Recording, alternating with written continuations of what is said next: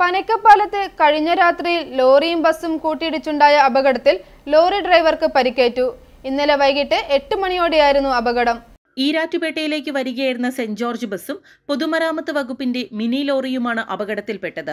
ആറാം മൈലിന് സമീപമായിരുന്നു അപകടം. പ്ലാഷനാൽ സ്വദേശി പാപ്പുവിനാണ് പരിക്കേറ്റത്. എറണാകുളത്ത് നിന്നും വരികയായിരുന്ന ബസ് ഓവർടേക്ക് ചെയ്ത് കയറുന്നതിനിടെ ലോറിയിൽ ഇടിക്കുകയായിരുന്നുവെന്നാണ് ദൃക്സാക്ഷികൾ നൽകുന്ന വിവരം. ലോറി ഡ്രൈവർ ക്യാബിനുള്ളിൽ കുടുങ്ങി. തുടർന്ന് ഈരാറ്റുപേട്ടയിൽ നിന്നും ഫയർഫോഴ്സ് എത്തിയാണ് ഇയാളെ പുറത്തെടുത്തത്. പരിക്കേറ്റ ലോറി ഡ്രൈവർ ആശുപത്രിയിൽ ചികിത്സയിലാണ്. ഐഫോറി ന്യൂസ് പാല.